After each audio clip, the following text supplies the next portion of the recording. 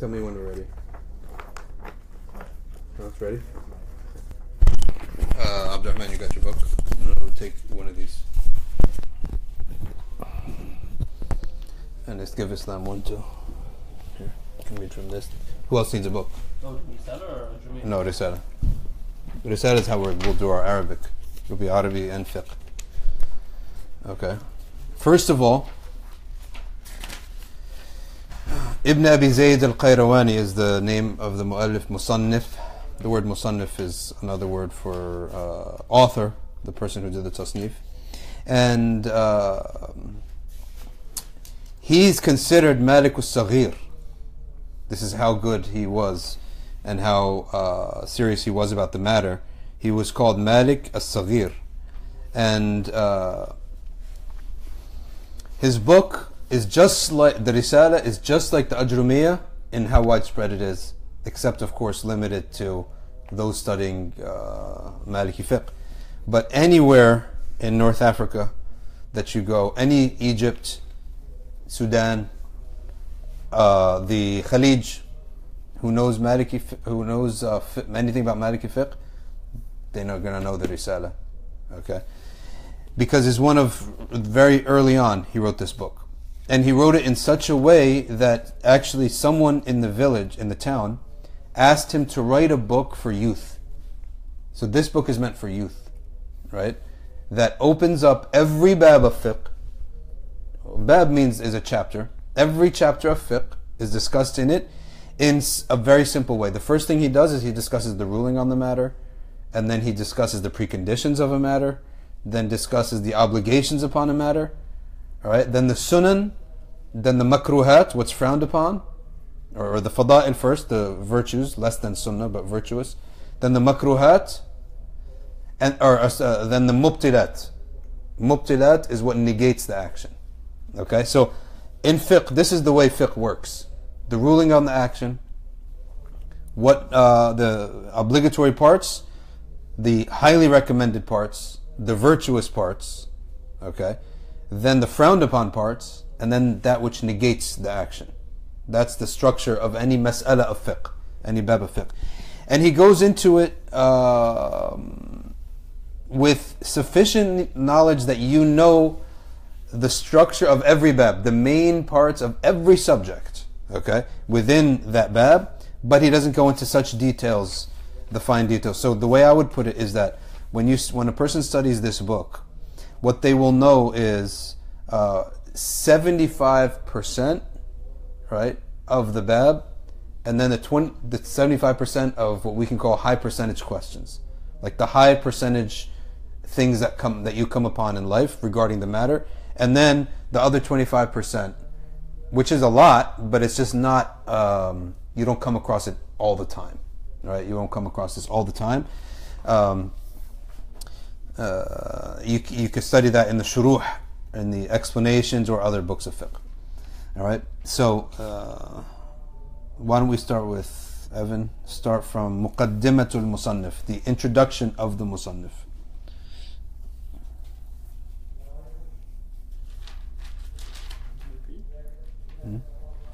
Muqaddimatul Musannif. Uh, so you're so in this sharh you're basically going to be reading what's above the line, and the sharh is below the line. So above. Yeah.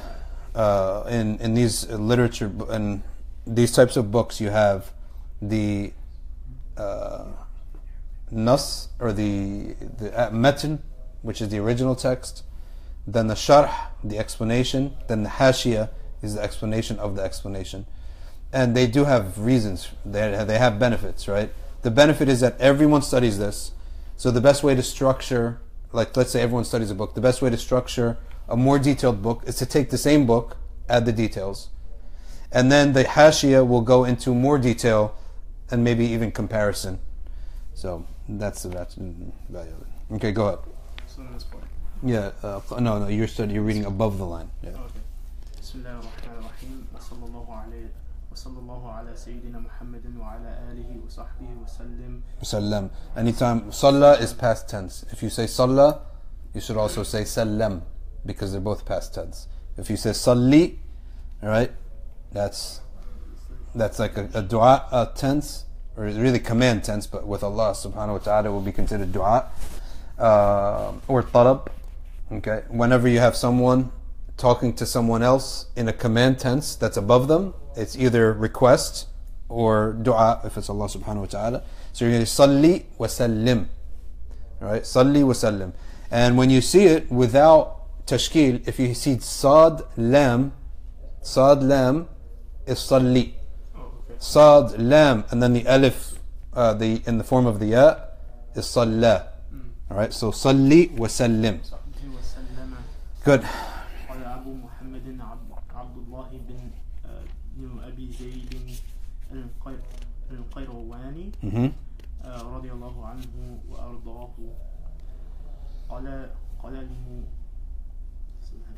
مصنف قال المصنف قال المؤلف مؤلف okay مؤلف بسم الله الرحمن الرحيم لا where are you at no no don't read below the line just read above the line Oh, okay. Yeah. Next page. above the line is the text below the line is all the sharh Okay, okay, okay.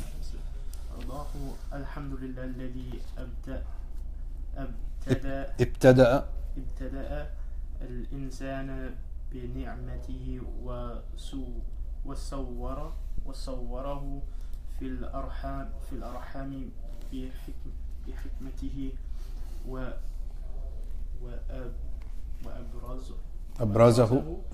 إلى رف رفقه mhm. وما يسر يسره له من رزقه Good. All right, stop here. So first thing he begins with alhamd. Anytime you begin anything that is dhubal, as the Prophet ﷺ said, dhubal uh, of any import, you have to begin with the name of Allah subhanahu wa ta'ala. So what does it mean with the name of Allah? It could be simply saying Bismillah ar-Rahman ar-Rahim. It could be Alhamdulillah. Uh, any type of name of Allah subhanahu wa ta'ala.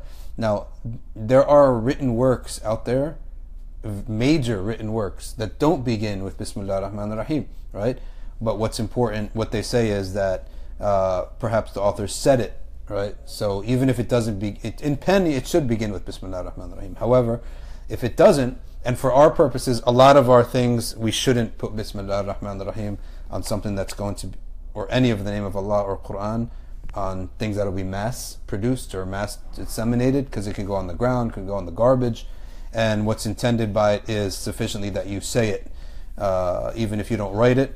It doesn't. Ha- you don't have to write it. You can just say it. Right. Bismillah ar-Rahman ar-Rahim. Likewise, if people say send you salam in an email, obviously the sort of um, thing is you respond back, right? But let's say you don't, at least you say it. What's important is that you say it. But you should respond back because in letter writing they do respond back with the full salam. All right, so he begins, Alhamdulillah Rabbil Alameen.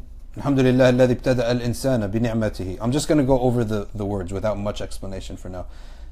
Alhamdulillah alladhi ibtada'a, initiated or began, al-insana, the human being, bi with his blessing.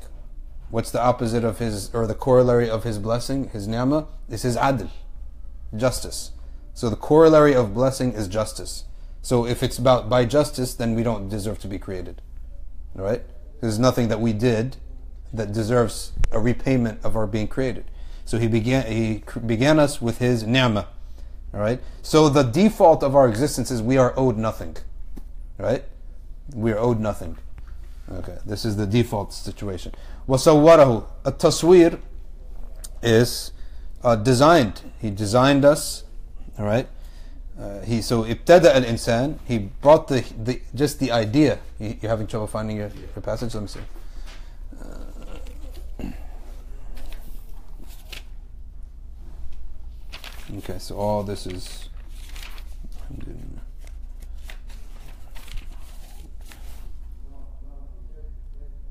Okay. Uh,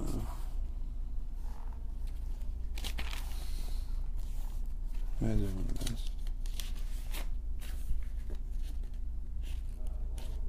Oh, okay. This is going to be a problem because the whole thing is the sharh. Mm-hmm. Yeah, so just look on with Islam until we get you a copy. You can photocopy this book today, inshallah. All right? You're going to be giving Staples a lot of business.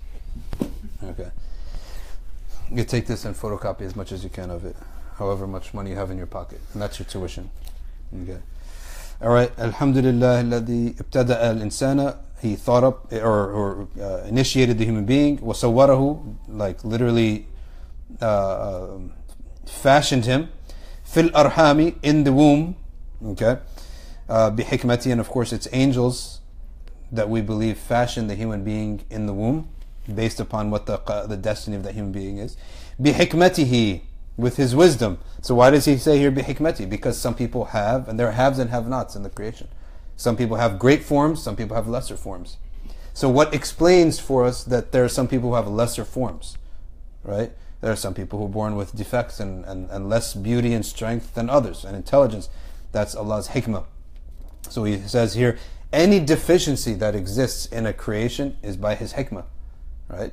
So you, someone uh, born or created without uh, what other people have, this is attributed to Allah's hikmah. صوره في الأرحام بحكمته وأبرزه إلى رفقه. And he brought him out of the womb, okay, and to his rifq. And rifq means gentleness. Like uh, rifq is something your rafiq, like in Lion King, is a friend. It's in Swahili. Rafiq is a friend. Rafiqi literally means my friend, right? My close friend. Rafiq. Ila rifqihi. And what is his rifq in the earth? What is the rifq that Allah gives every baby in the earth? Any guess? The mom. Good. Ila rifqihi. And then all the other things, the mom, the dad, the house, the food. وَمَا يَسَّرَهُ لَهُ مِنْ رِزْقِهِ And what Allah made easy of rizq because children and babies receive rizq with no effort. Later on, they have to win their, they have to, they're going to get the same rizq, but they have to work for it, right? وَمَا يَسَّرَهُ What Allah made easy for him min rizqihi, of his rizq. وَعَلَّمَهُ مَا لَمْ يَكُنْ يَعْلَمْ And he taught him, right, what he, he didn't know. عَلَّمَهُ مَا لَمْ يَكُنْ يَعْلَمْ All right? He taught the human being what he didn't know. Um, Okay, keep reading Islam. Actually, let's go in this order. You don't, you don't have a book? We're sharing. We're sharing a book. Okay. All right. Read from Wakana Fadlullahi alayhi azima.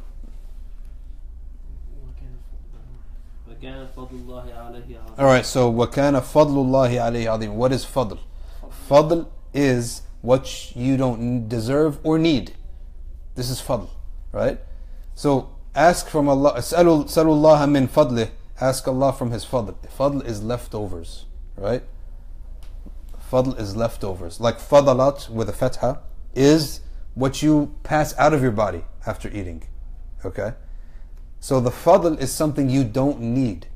You didn't earn it, you don't need it, but Allah gave it to you anyway. And this is the status of the human being, right? We all of us were happy in life because of fadl. If Allah only gave us what we need to survive, right, we would have very little. And Allah has those people on the earth the nomads, right, the super poor. Even the super poor in some, some countries have it better off than the Bedouin that used to exist. Uh, The whole world was filled with nomads, Bedouins, people who just have what they need. So that a human being can realize how much ni'mah we have by looking at those people. And because they have to fulfill that horrible role of having the bare minimum of what human beings can survive on, then on Yom Qiyamah their hisab will be much easier, right? Because they had to be those sort of sacrifices in this life, so that all of us can say, "Wow, look at what we have." The Prophet ﷺ said, "Anyone who is belittling his ni'mah, what you have, go look at what other people don't have." And for the Arabs, that was very easy. If you're a city dweller in Arabia, all you have to do is wait until a nomad passes, and you see no doesn't have anything, right? No uh, clothes, just one garment or two. No concept of civilization, even. No concept of like ambition, uh, upward mobility. That stuff doesn't exist. There's only one job that they have every day survive. That's it. Every day, and it renews itself. He doesn't even advance to the point that you think, okay, let me use these resources so that I could survive one day and rest the next day then I have to restart. No, every day he's restarting the process of survival. So that's basically the idea of fadl, and you should always know that uh, Allah loves to give fadl to His servants. Some people think, oh, Allah should only give us what we need to survive, and anything else is excessive. That's not correct at all. the reason people love Allah, as the Prophet ﷺ said, is Allah keeps giving them what they don't need, what is extra. Also, fadl, fadl when it increases, it renders the human being into an oppressor, right? It makes him miserable. And that's why every once in a while we have to be brought down, right, to the negative, where we are suffering. And suffering clears out all the bad habits uh, and false beliefs about ourselves and the world and others uh, that uh, develop when we have excess. Then, uh, uh, وكان فضل الله عليه عظيما ونبهه بآثار صنعته نبهه التنبيه is to point something out to someone. This is called tanbih, to point something out to someone. Nabbahahu. So what did he point him out to? To the existence of Allah. Nabbahahu with what? The first thing that Allah Azza wa Jal uses to point out to a human being of his existence is athari san'atihi, the effects of his creation. The creation of Allah Azza wa Jal is the first thing that the human being can look at, see all around him that indicates that there's a maker. All right? And we said many times in Aqidah classes that by looking at the creation, you come upon, right? Or, well, let's say, let's go back because we don't know it's creation yet. Creation involves a creator. So let's just say by looking at uh, what we would call nature, okay? By looking at the natural world, it indicates to you a number of things that there's order, there's death, there's life, there's rebirth, okay? There's intelligence, okay? There are systems. Systems indicate intelligence. You cannot find a system somewhere except intelligence is behind it. All these indicators, and also that it's systematic. You don't see clashes, okay? So it indicates to you certain attributes of the Creator, but it is not going to indicate, and that there is a Creator, but it won't indicate to you the Creator's name, His attributes, what He wants from us, or anything about our origins or anything about our future. Right? Only revelation can do that. But what the looking at the natural world should repel shirk. It should repel and make it very clear that idols and other humans are not God. And that's why, all right, there are a people, a sabi'in, that they never received a message. But just by their intellects, they denied paganism and idolatry and the worship of humans, animals, or other things. Okay? And that's what's required just this is an aqidah point. Just by virtue of having a brain, Allah does not accept you by having a brain. He doesn't expect you just by intellect to come to the point that there is Allah, afterlife, salah, som. No. You're not going to know those things. But He does expect you to know that there is one creator, right? You don't even expect it to know His name. Just that there's one creator and that paganism is false. Just by having an intellect, we are expected to know these things. All right? And we'll be taken to account according to the Maturidiyya, right? Will be taken to account and punished if Allah gave you a brain and you still worshipped an idol. How do you know if there's one or not two? Hmm? How do you know that there's one creator and not two or three? Well, probably by analogy, right? By analogy. Because there is no uh, system except that it has to have one chief, right? You can't have, are there two head coaches to any team? Are there two general managers? Are there one act, uh, active owner? More than one active owner? They're in man- if when you look at management, any human system that's been managed by humans, right? You will never find right? Dual management or two two managers. A ship only have one. A kitchen can only have one chef, right? All of human endeavors are like this, right? So when you see that this earth keeps moving, this winter, now it's spring again, and it's winter, and now it's spring again, and that everything fits like a puzzle piece, you realize this whole thing is managed. It can only be one manager, it can't be another manager, okay? But they must reject the pagan gods. This is uh, now once revelation comes, once a prophet comes, now your responsibility goes up a second notch now to accept what that prophet has brought. Okay. And then every new prophet that comes, you're obligated to follow that. So that's the difference between those who have intellect alone and those who have intellect and have received a prophet. Okay? They call that al-aql and al-naql. You have inter- uh, intellect and you also have uh, revelation. All right, uh, Hamza, you, you got the book? Yeah. All right. وَنَبَّهَهُ بِأَثَارِ صَنْعَتِهِ And then وَأَعْذَرَ إِلَيْهِ وأعذر, وأعذر إليه على ألسنة المرسلين المرسلين آه، خير الخيارة الخيرة من خلقه All right, so stop here. So now we just said the natural world, we use our intellect, it should repel shirk and give us the first part of the shahada, which is la ilaha.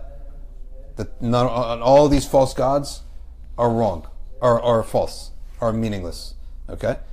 But how will you know the attributes of the Maker, His name, all He wants from us? you will never know that except through transmission of a prophet. The prophet has to receive this information from Allah and give it to us. Uh, the great Imam Sha'rawi gives a metaphor. Okay, he says, if you are outside, or, or if you are inside, and you get a knock on the door, a systematic knock on the door.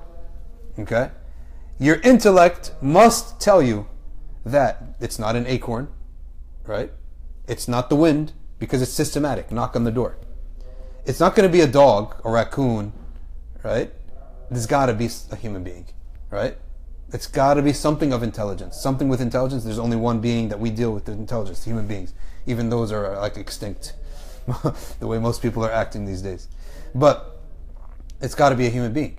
But can you tell who it is from the knock? No. All you could tell is it's a human being. Unless someone goes out of the door that you trust, someone that you trust, that is sane, etc., goes out of the door, talks to the person, then comes back. That's the, example of prophecy. So just by hearing the knock, you know that there's, it's not anything from the natural world. It's not going to be a dog or a cat or a raccoon or the wind. It's going to be a human being, an intelligent human being that is systematic, right? In their knocking and etc. However, only if a trustworthy source goes out, talks to that knocker, and comes back in, right? Can you have any information about the person knocking? And that's what he says next. وَأَعْذَرَ إِلَيْهِ عَلَى أَلْسِنَةِ الْمُرْسَلِينَ الْخِيَرَةِ مِنْ خَلْقِهِ Which means now he gave him no excuse. Alright? So up to the fact that you're just looking at the natural world, you have a lot of excuses. And the requirement of you is very little. But now that you have وأعذر إليه he gave him no excuse from whom على ألسنة المرسلين الخيارة من خلقه the, from, the, uh, from the tongues of the chosen messengers from his creation. Okay? And in our example the guy the person who goes out outside the door and talks to the one who's knocking and finds out all the information and comes back and tells you now you have no excuse. Of course there are a number of conditions. Because let's say we're all sitting in the house and someone's knocking, and then a stranger in the room goes out and comes back, we're not obli- obligated to believe him. We don't know who you are. You could be lying, right? You could be mistaken. You could be, you don't know how to transmit information. So there are a lot of conditions on that person who goes out and comes back in order for us to have to believe him, to be required to believe him. He should be one of us. We should know him inside out. He should be speaking our language he should have no background of lying, no uh, uh, past history of having other ambitions or personal goals, right? So that is, these are all in Aqidah come as the requirements of prophets, and in a way also the requirements of dua, da'wah. Okay? So when for da'wah to truly be transmitted to a people, that in a way that Allah Azza wa considers that they have received the message, they have no excuse, that da'i should have those uh, attributes as well. He should be a known entity to the people. He should be one of them he should have a good background, and obviously, uh, when, when it comes to dawa, it's not going to be one; it'll be a whole generation of people. All right, now what do these prophets do? Wissam, pick it up. Fahada.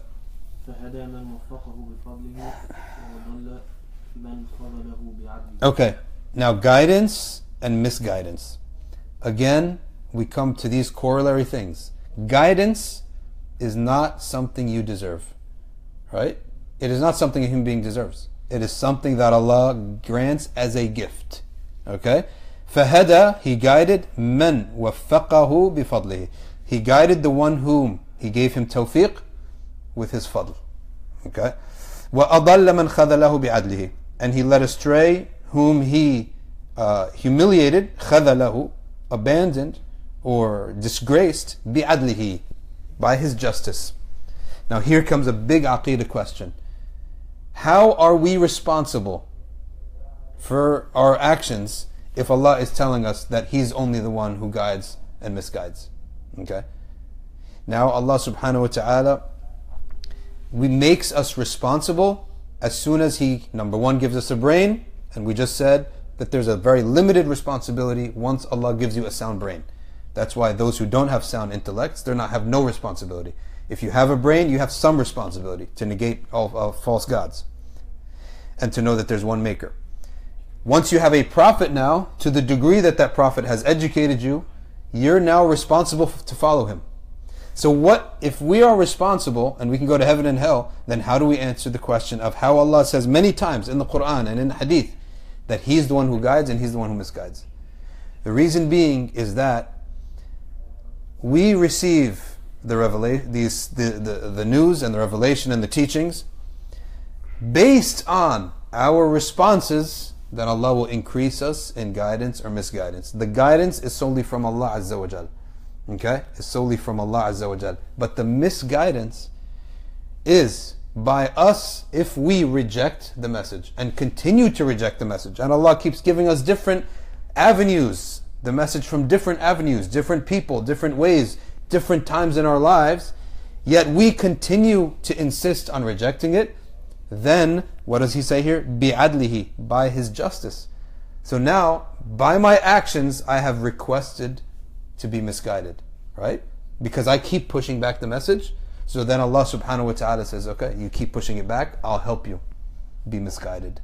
And this is the example of Surah Al Baqarah, which says, Khatam Allahu ala qulubihim. Allah has sealed their hearts shut. So we should ask a question. How is he going to go to hell? Why should he go to hell if Allah sealed his heart shut? The Sahaba gave Ibn Abbas explained it. He said, Allah didn't seal his heart shut from the first time, nor from the second, nor tenth or twelfth. After years of Allah giving this person chance after chance after chance, now this person by his own action, if the heart is like a hand, one rejection, ten more rejections, fifty rejections, he continues to reject until he locks his own heart. Right? He locks his own heart just as he's blocked the light from reaching the palm of his hand with his own actions, then Allah begins to help him. Allah begins to make the uh, the prophetic message ugly in his eyes and make paganism and kufr beautiful in his eyes. We call this istidraj. But Allah doesn't do this from the start. He does this after the person has insisted upon kufr. This is why anytime we get a message and an invitation to the good, we have to accept it.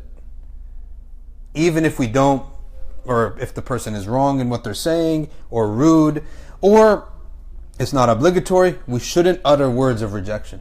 Because if you continue getting used to repelling those types of invitations to the good, then Allah will one day make you hate them, right? And make it easy. So, for example, uh, Imam Malik, a, a boy came to him, and for some reason, the boy said something strange, and he told Imam Malik after Asr, they had just prayed Asr, he said, go pray two rakas, right?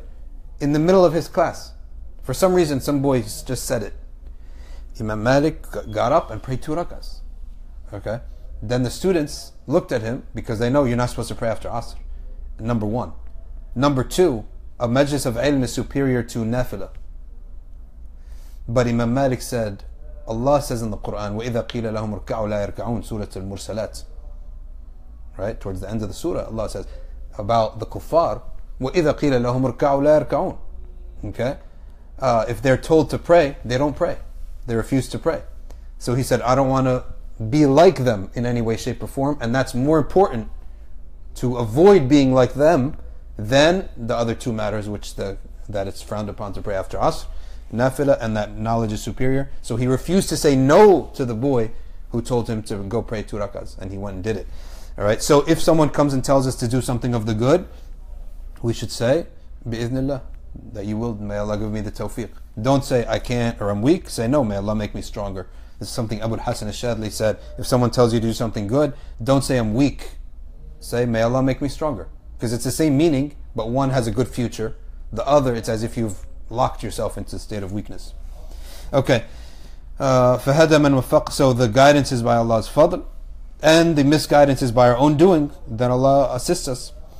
All right, keep reading. وَيَسَّرَ الْمُؤْمِنِينَ يسر المؤمنين لليسرى وشرح صدورهم للذكرى All right, which means here وَيَسَّرَ made easy. Who?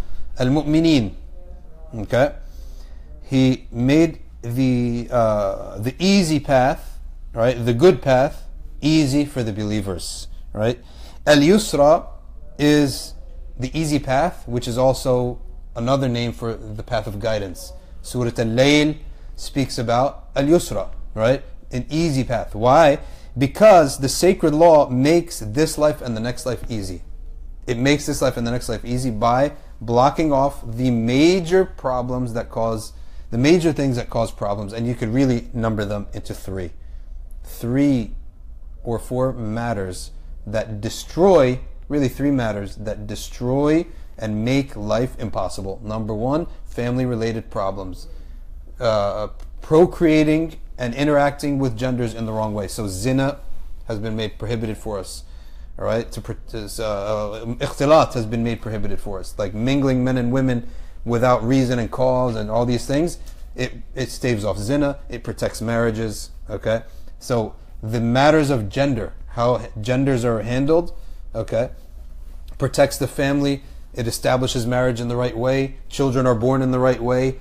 All of these problems, how many problems develop just from this one issue?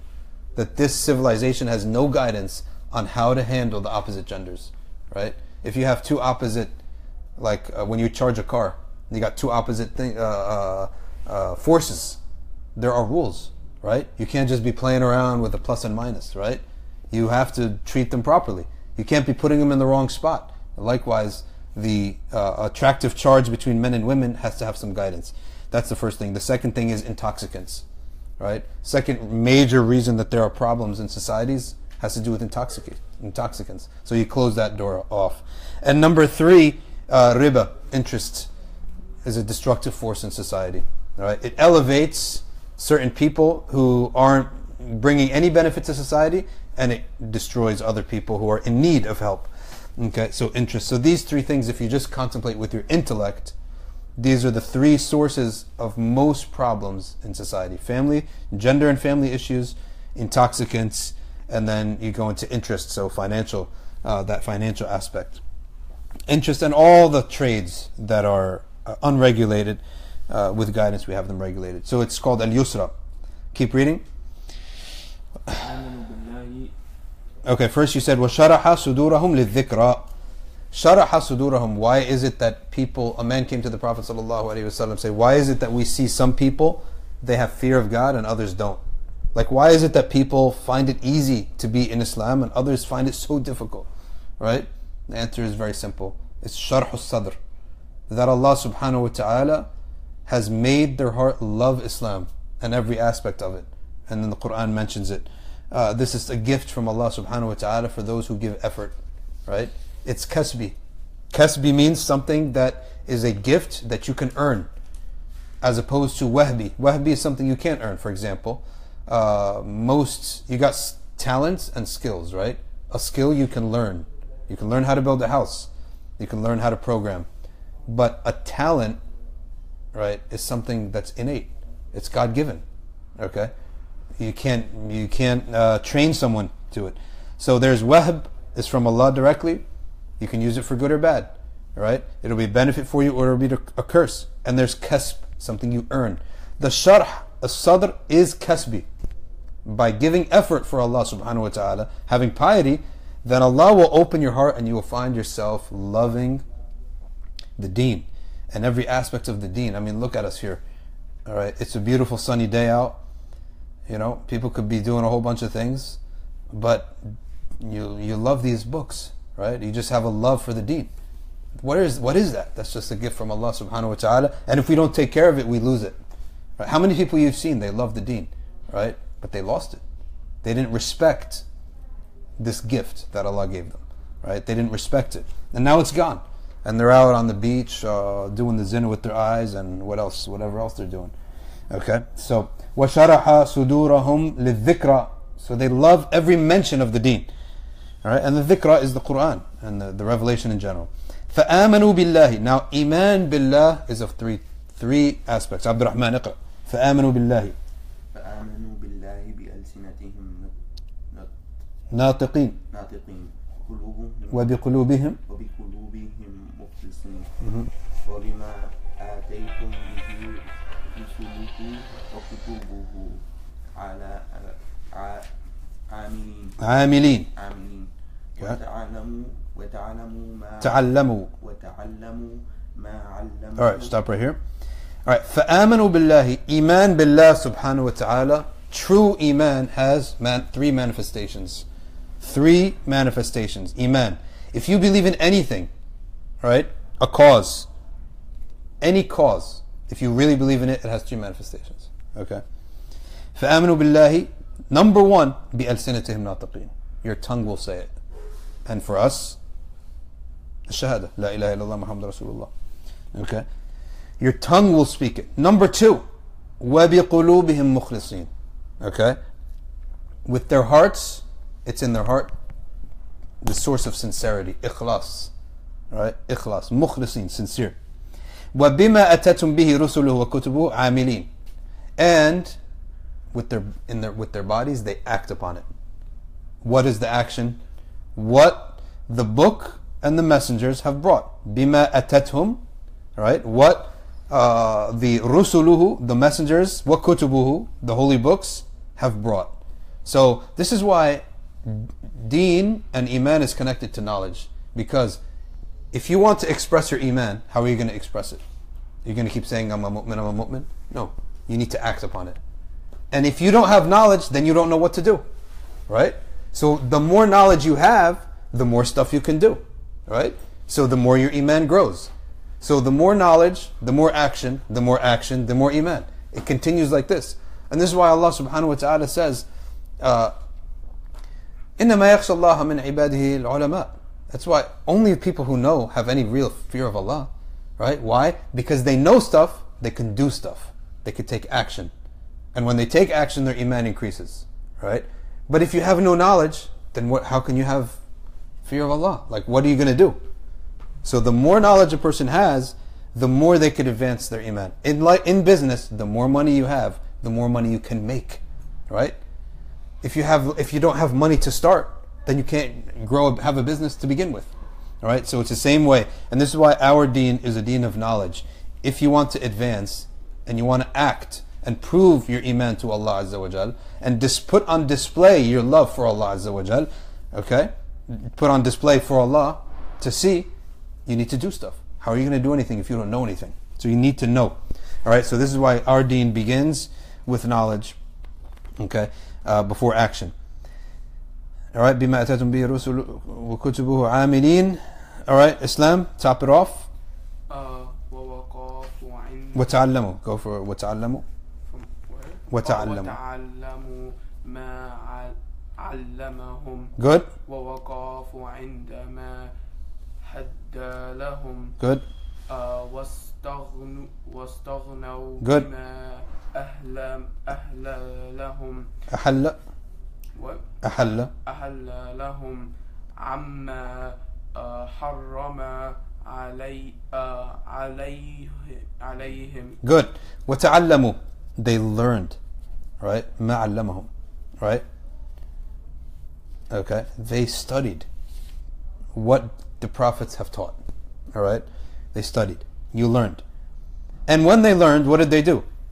So basically, it's action.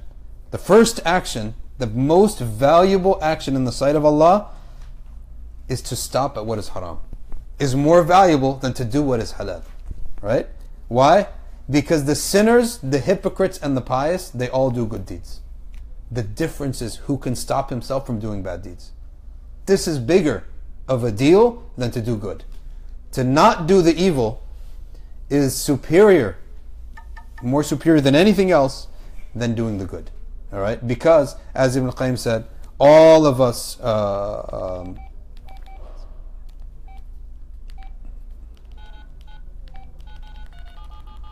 all of us do the good. It's easy to do the good. It's uh, it's uh, there's social reward for doing the good. There's a social reward in a Muslim community to show up doing the good. Okay, because the people, your family, and people around you are going to like you. They're going to say, "Oh, he's good," right? But the sins is something you can always keep doing in private. The bad thoughts is something no one will know. So the real piety is in stopping, and if we can't stop, okay, there are two rules if you cannot stop doing a wrong. Number one, don't blame destiny and say, it's the qadr of Allah that I keep doing this sin. This is number one thing about this matter is do not put the issue on destiny. This is kufr billah. You say, oh, I, I, I, I, can't stop. This must be the qadr of Allah. You actually can say that for other people. Right? You can say that for other people. You can say, ah, qadr Allah, He has, uh, you know, that's His thing. But for yourself, you can't. Okay? Number two, the door of Tawbah. If you cannot be from someone who doesn't sin, right? Then know that everyone commits sins at some level. Be a person of Tawbah. If you cannot be purified from sin, don't don't quit. Rather, be a, someone who makes Tawbah. And Allah loves two types of people: the one who's purified his behavior from committing sins, and he still does wrongs, but very much less than the major wrongs, right? Just some minor wrongs here and there, and without consistency. All right And someone who does wrong, but he makes tawbah. Allah loves them both. And Allah يحب التوابين ويحب المتطهرين. So وَوَقَفُوا عِندَمَا حَدَّ لَهُم And how can you stop at the prohibitions if you don't even know them? Right? So you got to learn them. وَاسْتَغْنَوْا بِمَا أَحَلَّ لَهُمْ عَمَّا حَرَّمَ عَلَيْهِمْ What does استغنوا mean? استغنوا means to find sufficiency. Al-ghani, in the Arabic language, the word ghina does not rich does not mean rich. Doesn't mean you have a lot of stuff. It means you have no needs. True wealth is you have no needs, right? So what does that do? That makes all of us have the capacity to be wealthy, right? If true wealth is having no needs, therefore true wealth is inside your heart. There is that's why there was a king one time, uh, a, a, a prince. This is something. This happened apparently many times, and there are a lot of legends similar to the Buddha, uh, Siddhartha Gautama. Uh, he saw he was a prince, and he was sitting uh, in his palace, and he looked out the window, and he saw a poor man singing, right? And the song was khubzun wa malhun wa zaytun. So he had some oil, some salt, some bread, and a, and a bowl of water, and sat under a tree, haggard man, right? And he was singing a song and saying, I have bread, I have salt, I have oil, I have water, right? Uh, what else does a person need? Whoever isn't thankful for this meal, right, is ungrateful to Allah subhanahu wa ta'ala. So he ate from it, and then he ate his full, and then he fell asleep under the tree. And the prince said, This man is happier than me. Right? And he realized that happiness is not by having, happiness is by not desiring. So if you're a rich man, but you desire more, you're miserable. Okay? And if you have very little and you desire nothing, then you're happy. So that's what true happiness is. So wastaghnu. Have uh, be sufficient with what? Bima ahalla lahum. Means what Allah made halal for them. Amma haram alayhim. Uh, to the exception of amma anma harrama alayhim. What Allah prohibited. So He's sufficient with what Allah made halal so that he doesn't have to take what Allah made haram. Okay, and this for us, the halal may be for some people, no, not that much. Okay, not that much, but um, and the haram is is out there for us to take.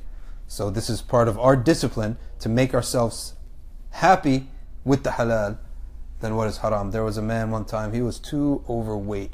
Okay, and he used to love to eat. He used to love to eat and this guy was like a baller, like one of those types that was going around young days, clubs, women, all this, all this stuff. And then he changed his life, right? And he got married, settled down, and he uh, used to eat, right? Eating was his thing. Finally, one day, his wife said to him, "Why do you just love to eat so much?" Okay, Uh, don't you love anything else? Have any other hobby except food? He says, I love a lot of things, but this is what's halal. okay?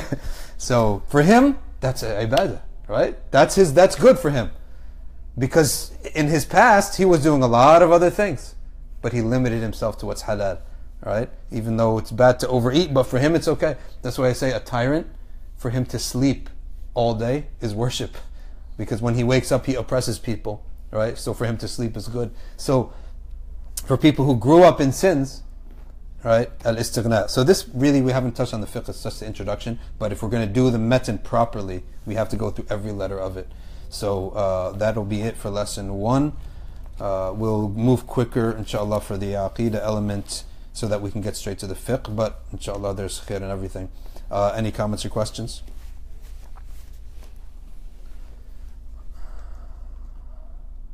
Abdurrahman, you good?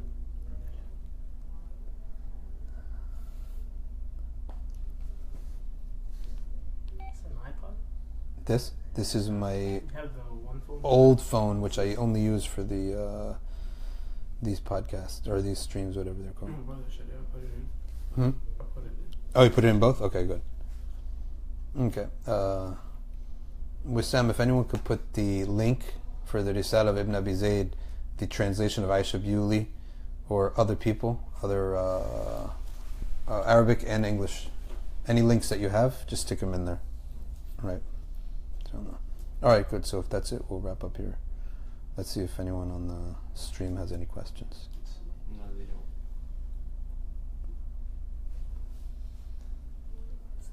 What is that? Khalid, Khalid, where is he? Awad, at work. Huh? Being a lawyer. What, he got a job? MashaAllah. Yeah. ما شاء الله اوكي سبحانك اللهم وبحمدك نشهد ان لا اله الا انت نستغفرك ونتوب اليك والعصر ان الانسان لفي خسر الا الذين امنوا وعملوا الصالحات وتواصوا بالحق وتواصوا بالصبر